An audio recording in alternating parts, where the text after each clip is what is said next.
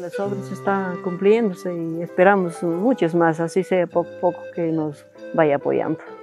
Un lugar que casi nos ha estado bastante abandonado y, ya nos va haciendo realidad poco a poco.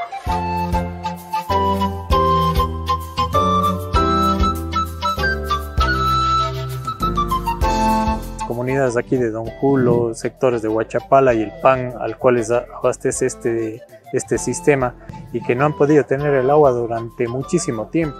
nuestro personal ha estado permanentemente eh, trabajando aquí, haciendo algunos arreglos sobre un sistema para poderle rehabilitar y lograr que el agua llegue a este reservorio. ¡Que vive el sistema de riego Don Julo!